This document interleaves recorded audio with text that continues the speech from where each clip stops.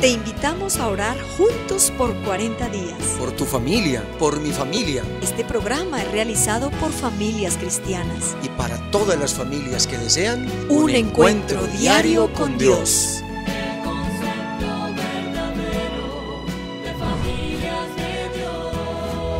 De tu amor, de tu gran misericordia. En tu nombre nos encomendamos y encomendamos a todas nuestras familias en Cristo Jesús. Amén. Nos complace saludarles y compartir con ustedes en esta ocasión el tema titulado Familias modestas, sencillas y sinceras. Los que piensan en casarse deben pesar cada sentimiento y cada manifestación del carácter de la persona con quien se proponen unir su suerte.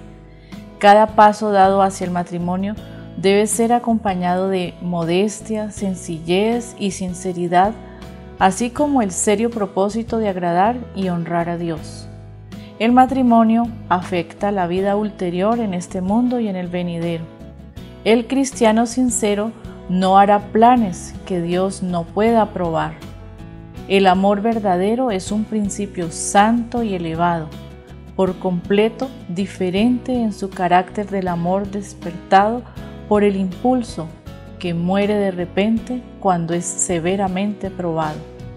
El amor es una planta de crecimiento celestial y tiene que ser cultivado y nutrido. Los corazones afectuosos y las palabras veraces y bondadosas harán felices a las familias y ejercerán una influencia elevadora sobre todos los que lleguen a estar en su esfera de influencia. Hogar Cristiano páginas 39 y 41. Hola, mi querido suegro, ¿cómo me le va? Quiero decirle que Dios te ama, al igual que a usted y a los seres queridos que lo rodean. Dios te bendiga, Jesús siempre te amará.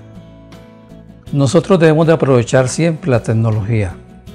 Es un medio que tenemos eficaz para ayudar a aquellas personas en estos momentos a veces difíciles para ellos. Aprovechemos estos medios.